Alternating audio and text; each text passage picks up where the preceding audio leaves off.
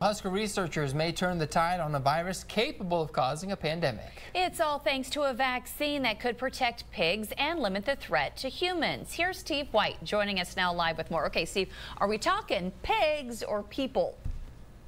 Yeah, really, this has the potential to do some benefit both ways.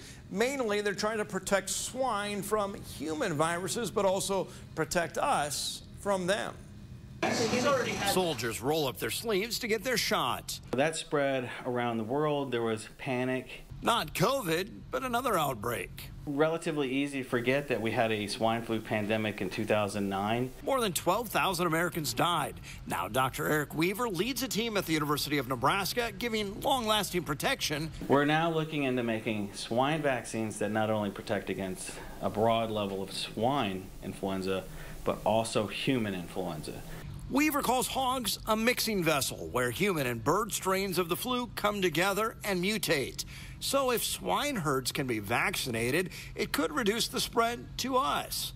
Results are promising. We're expecting to see immunity last for multiple years. While COVID didn't necessarily change their approach, it did drive home the problem with vaccines that wear off quickly. Come on forward. Something on. many experienced. Right in. I got vaccinated, I got boosted, and last year I got infected.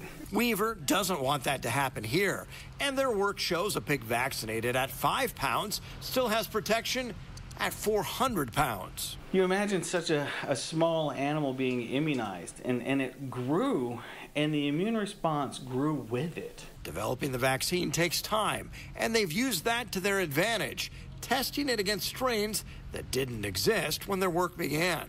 It was almost a time travel experiment. And Weaver says it did protect against new strains. They've got more work to do, but repeated results boost confidence it works in pigs. If successful, it could lead to new human flu shots, maybe one given to infants with the potential to last years. And you get boosted again in your 50s. To me, that sounds like a much better plan than going every, in every single year and getting your, your flu shot.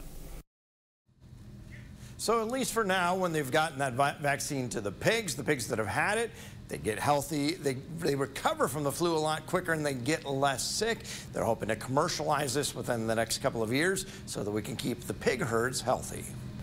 Steve White, live in Grand Island. Thank you, Steve.